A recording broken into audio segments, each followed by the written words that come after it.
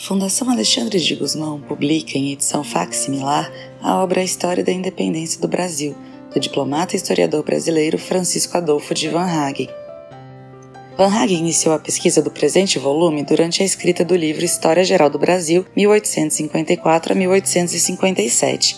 A metodologia envolveu o levantamento de periódicos e panfletos, a realização de entrevistas e a análise da correspondência diplomática de pelo menos cinco países.